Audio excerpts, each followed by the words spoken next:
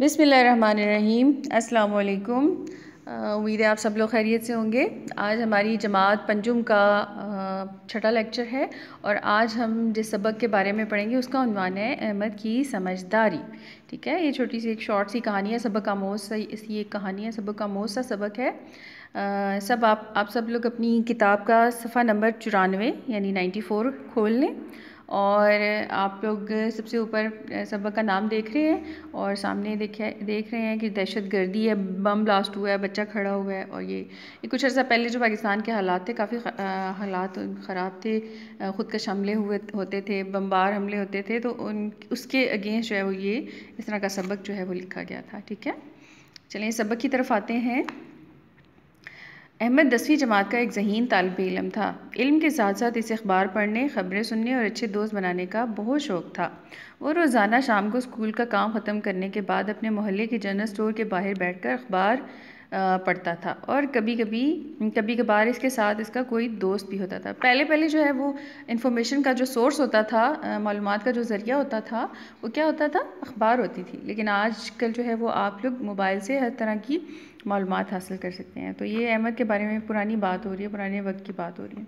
रोज़ाना जब वो अखबार पढ़ता और ये ख़बर इसकी नज़र से गुजरती कि कल मुल्क के किसी हिस्से में किसी को गोली मार दी गई, या बम के धमाके से इतने लोग ज़ख्मी हुए या मर गए वो तो वो तो एक गहरी सोच में गुम हो जाता, फिर बहुत सी, बहुत से सवाल इसके जहन को बेचैन कर देते थे। ये दहशत गर्दी का लफ्ज़ जो अखबार में रोज़ लिखा होता है, इसका क्या मतलब है? रोज़ इतने लोग क्यों मरते हैं? मैं मैं क्या कर सकता हूँ? एक दिन अहमद अपने दोस्त निशान को लेकर उस्ताद साहब के पास गया और अपनी उलझन बयान की। उस्ताद साहब चंद लम्हों के लिए गहरी नींद, गहरी सोच में गुम हो गए। फिर मुस्कुराते हुए बोले, मुझे आप लोगों की ये बात सुनकर खुशी हुई। आप बतौर शहरी बहुत कुछ कर सकते हैं। आप अपने मोहल्ले में किसी नए आने वाले शख्स या किसी गैर मामूली सरगर्मी पर नज़र रखें और अगर कोई ऐसी बात नज़र आए तो अपने दोस्तों और घर वालों से बात करके मुकम्मल तौर पर जाने की कोशिश करें। और जब आप ये सब कर लेंगे तो ख़ुद ब खुद आपको अपने सवाल के जवाब मिल जाएँगे। अहमद स्कूल जाने के लिए घर से निकलता तो गली की नुक्कड़ पर वाक़ एक छोटी से, छोटे से मकान के करीब आकर इसके कदम आप ही आप रुक जाते। उसने इस मकान के दरवाजे पर हमेशा ताला लगा हुआ पाया, लेकिन अजीब बात थी कि दरवाजे के करीब ही एक छोटी सी खिड़की थी और खिड़की के अंदर से इसे रोशनी नज़र आती थी। इसे ये मकान हमेशा नहायत पुरस्कार लगा करता। उसने अपने दोस्तों से कई बार इस मकान के बारे में पूछा तो इससे सिर्फ़ इतना मालूम हो सका कि मकान में नए किराएदार आए हैं, लेकिन मोहल्ले के किसी शख्स ने इनके, इन किराएदारों में से किसी को नहीं देखा। एक दिन शाम के वक्त जब अहमद गली में गली में निकला तो अपने घर के दरवाजे के करीब खड़े होकर उसी पुरस्कार मकान को देखने लगा। इसके दिल में अजीब अजीब ख्याल पैदा हो रहे थे। वो जानता, जानना चाहता था कि नए किराएदार किस से मिलते क्यों मिलते हैं किसी से मिलते क्यों नहीं हैं। अभी ये बात अभी वो ये बात सोच ही रहा था कि अचानक इसे एक पुरस्कार शख्स मका इस मकान उसे एक शख्स इस पुरस्कार मकान के दरवाजे की तरफ़ बढ़ता हुआ दिखाई दिया वो शख्स अजीब सी नज़रों से इधर उधर देख रहा था। इससे जैसे जैसे इसे खदशा हो गया, कोई इसे देख ना ले। अहमद जल्दी से थोड़ा पीछे होकर खड़ा हो गया ताकि वो शख्स इसे देख ना ले। अगले दिन फिर ऐसा ही हुआ। आज अहमद जान बूझ कर अपने घर के दरवाजे के करीब खड़ा हुआ था। वो इस पुरस्कार मकान के के मकीनों के बारे में कुछ ज़्यादा जानना चाहता था। पहले से सोचा कि वो उस मकान की तरफ़ जाए, लेकिन वो अचानक ठटक कर रुक गया, क्योंकि आज वही कल वाला आदमी मकान की तरफ़ बढ़ रहा था, लेकिन आज उसके साथ एक और आदमी था। दोनों के हाथों में एक एक थैला था। दोनों थैले खासे वजनी महसूस हो रहे थे, लेकिन लगता था कि इन्हें वो थैले उठाते हुए खासी दिक्कत हो रही है। वो दोनों जल्दी जल्दी इधर उधर देखते हुए ताला खोल कर मकान के अंदर दाखिल हो गए। अब अहमद ने महसूस किया कि दाल में कुछ काला है। वो जल्दी से अपने घर के अंदर आ, आ, आया और सीधा अपने अबू के पास पहुँचा।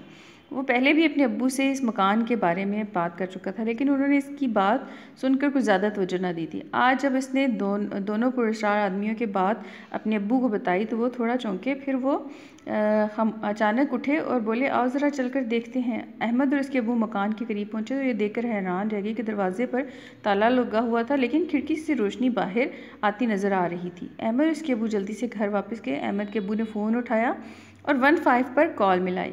वन फाइव आप सबको पता होगा ना कि ये सर्विस है, पुलिस सर्विस है, ठीक है? ये आप एमरजेंसी में यहाँ पे कॉल करके पुलिस को इतला दे सकते हैं। उन्होंने दूसरी तरफ़ मौजूद पुलिस एहलकार को पुरस्कार मकान के, पुरस्कार मकीनों के बारे में बताया। तकरीबन पंद्रह मिनट के बाद वहाँ पुलिस की गाड़ियाँ आ गईं, जिसमें जदीद असला से लेस पुलिस एहलकार मौजूद थे। अहमद और इसके अब्बू ने मकान की निशानदेही की तो पुलिस वालों ने दरवाजे पर लगा हुआ ताला तोड़ा और तेज़ी से दा, अंदर दाखिल हो गए। पुलिस एहलकारों ने सारी कार्रवाई इतनी तेज़ी से की कि अंदर मौजूद लोगों को संभलने का वक्त ही ना मिला। वहाँ पाँच आदमी मौजूद थे। पुलिस ने तलाश ली तो वहाँ कई थैले पड़े हुए थे जिसमें असला भरा हुआ था। पुलिस ने उन पाँच आदमियों को गिरफ़्तार कर लिया और अपने साथ थाने ले गए।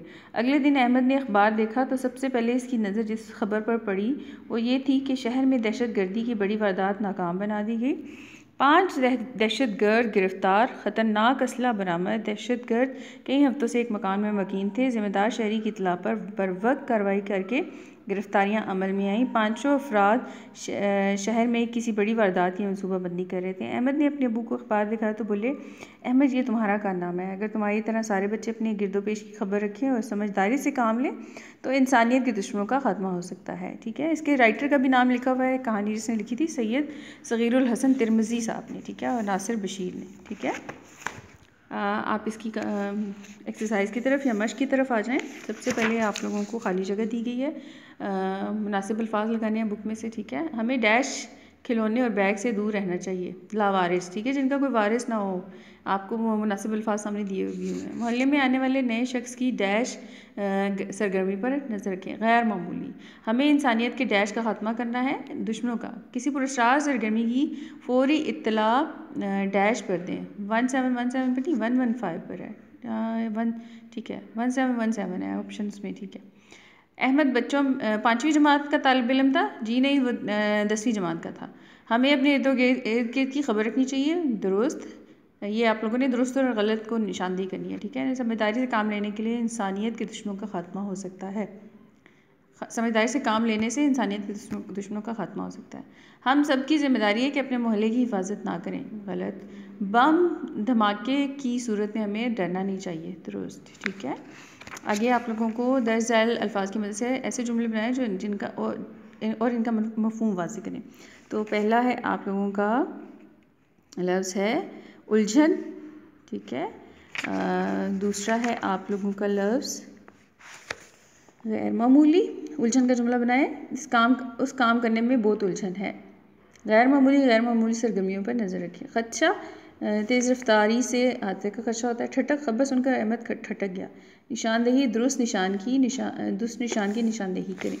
ठीक है? आगे आप लोगों के सबक के मतन को सामने रखते हुए दर्ज दर्जैल सवालत के मुख्तर जवाब दें। ठीक है? अहमद क्यों परेशान रहता था? जब वो अखबार पढ़ता था तो वो उसमें जो ख़बरें होती थी ना, उसकी वजह से वो परेशान रहता था। ठीक है? तो आपने इसका जवाब लिखना है। कि जब अहमद अखबार पढ़ता तो मुल्क के किसी हिस्से में गोली लगने, बम धमाके, ज़ख्मी होने और मरने की खबर पड़ता तो अहमद बेचैन हो जाता। एक शहरी की क्या ज़िम्मेदारी है? बतौर शहरी हमारी ज़िम्मेदारी है कि हम नए आने वाले शख्स या गैर मामूली सरगर्मियों पर नज़र रखें, मोहल्ले में आने वाले अजनबी शख्स पर नज़र रखें। पुरस्कार मकान में किस किस्म की सरगर्मियाँ होती हैं? इस सरगर्मियाँ होती थी। अहमद के वालिद ने देखा कि मकान के दरवाजे पर ताला लगा हुआ है, मगर किस किस्म की सरगर्मियाँ होती थी? वो ज़ाहिर है कि बड़ा मंसूबा बना रहे थे तबाह करने का। ये आप लोगों ने जो है वो आंसर इसका ये नहीं लिखना, यानी आप लोगों ने बुक में से सर्च करके इसका मुनासिब आंसर लिखना है, ठीक है? सिलेबस वाला आंसर नहीं लिखना। अहमद के अबू ने किस नंबर पर कॉल की थी? अहमद के अबू ने वन फाइव पर कॉल की थी, ठीक है? इंसानियत के दुश्मनों का ख़ात्मा कैसे हुआ था? कैसे मुमकिन है? अगर हम अपने गिदो पेश पर नज़र रखें और समझदारी से काम लें तो इंसानियत के दुश्मनों का ख़ात्मा हो सकता है। ठीक है? आप लोगों का ये सबक यहीं पर ख़त्म होता है। इसको आप लोगों ने आ, सारे काम को आपने कॉपी पे करना है और इसको याद भी अच्छी तरह करना है। आ, अपना बहुत ज़्यादा ख्याल रखिएगा। अल्लाह हाफिज़।